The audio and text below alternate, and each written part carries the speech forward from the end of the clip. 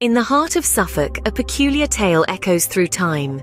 A riddle from the 12th century in Woolpit, where two children mysteriously appeared.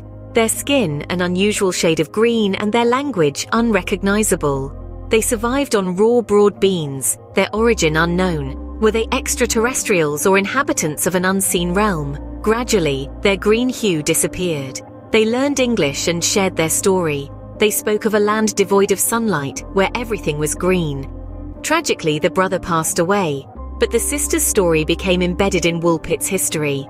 This is the enigma of the Green Children of Woolpit, a tale spun with threads of mystery and intrigue, beckoning us to delve into the unknown. As we journey into the past, we encounter stories that challenge our understanding, spark our curiosity, and remind us that the world is overflowing with wonder.